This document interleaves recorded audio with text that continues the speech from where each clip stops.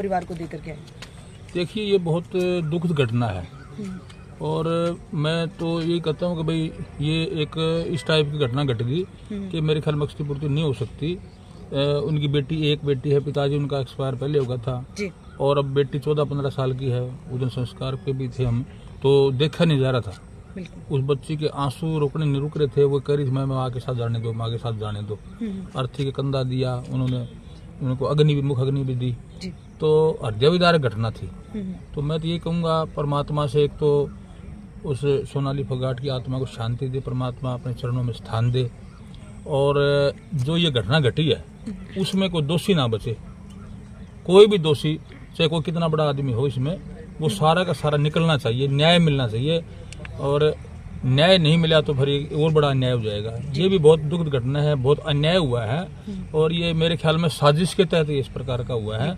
और आज हम यहाँ पहुँचे हैं। हम्म, तो इनको सांत्वना दी इनके भाई भी थे इनके जेठ भी थे और भी भाई बहन सारे ही थे। हम्म, तो इनको सांत्वना दी है कि भाई हम इस दुख की घड़ी में आपके साथ हैं और परमात्मा से दुआ करते हैं कि भाई इसका अपने सरकार जो है इसमें इंटरेस्ट ले करके और पूरा पता लगाए कि भाई हम कौन कौन दोषी हैं और ये घटना क्यों घटी भाई क्या कारण था? अभी तो कारण का ही नहीं पता चला भाई कारण कुछ तो कारण ही होगा।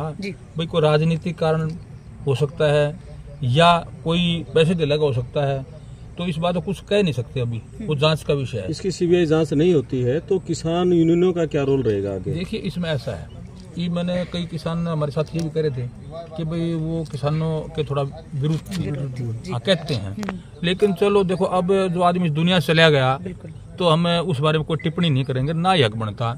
एक किसी की बेटी है वो एक हरियाणा की बेटी है हिंदुस्तान की बेटी है किसी माँ बाप की बेटी है और इसमें टिप्पणी करना अच्छा नहीं लगता। तो मैं तो यही कहूँगा कि अब इसे न्याय मिले और इसमें सीबीआई जाँच ज़रूर हो। सीबीआई जाँच अगर न करेंगे तो वो बहुत गलत होगा। उसमें हम फिर हम भी इस बात से नाराज़ हैं कि जब तक दोषी का पता न चले तो फ़ायदा क्या हुआ? सर जिस तरह से परिवार वाले बार बार बोल रहे हैं कि सुधीर सांगवान और सुखविंदर सांगवान तो सिर्फ़ मोहरे हैं। इनके पीछे चालबाज कोई हो रहा है तो क्या आपको भी ऐसा लगता है? देखिए इट मे भी पॉसिबल हम्म, ये हो सकता है इसमें अभी कुछ नहीं है। अभी तो इन्हें कह दिया उन्होंने मान लिया बे हमने किया है कबूल कर लिया बता रहे हैं। तो कबूल करने का ये मतलब थोड़ी था एक कबूल कर ले दस आदमी को कांड कर देते हैं। और उसमें वो एक आदमी थोड़ी गुनागार होगा उसमें दस है जो सम्मिलित है वो सारे के सारे दोषी पाओगे तो ये बड़ा षड्यंत्र है इसमें ऐसा कुछ नहीं है कि अकेले वही दो हों। इसमें तो बहुत बड़ा मिलेगा इसमें। मेरे ख्याल में तो इसमें राजनीतिक भी हो सकते हैं। और इनके जो साथ रहने वो भी हो सकते हैं और और भी कुछ हो सकता है। देखो सीबीआई जाँच मुझे कहीं मांग करते हैं हम सरकार से आपके माध्यम से कि सीबीआई जाँच ज़रूर होनी चाहिए और उसमें न्याय मिलना चाहिए। जिस तरह से बीजेपी जो है सामने नहीं आ रही है तो परिवार वालों का ये भी कहना है कि सबको इस चीज़ का डर है कि अगर इस केस के पर्दे उघेड़े गए अगर पर्दे उठाई गई तो हो सकता है बड़े बड़े राजनेता भी इसमें सम्मिलित हों। देखिए इस बात से इनकार नहीं किया जा सकता। अब सीधा किसी का कहना तो वो गलत बात है। हम किसी के न तो हम खिलाफ है न किसी के हक में है, लेकिन न्याय ज़रूर मिलना चाहिए। तो इसमें हो सकता है राजनीति का विषय है भाई वो राजनीतिक भी थी और अपने इसमें क्या बोलते हैं टिकटॉक में उसमें भी थी और फ़िल्में वगैरह भी बनाई थी। तो उसमें हो सकता है पता नहीं कौन किस हिसाब का आदमी को राजनीतिक हिसाब से द्वेष बरतता हो वो साथ रहने द्वेष बरतते हों। तो उस तो जाँच का विषय है।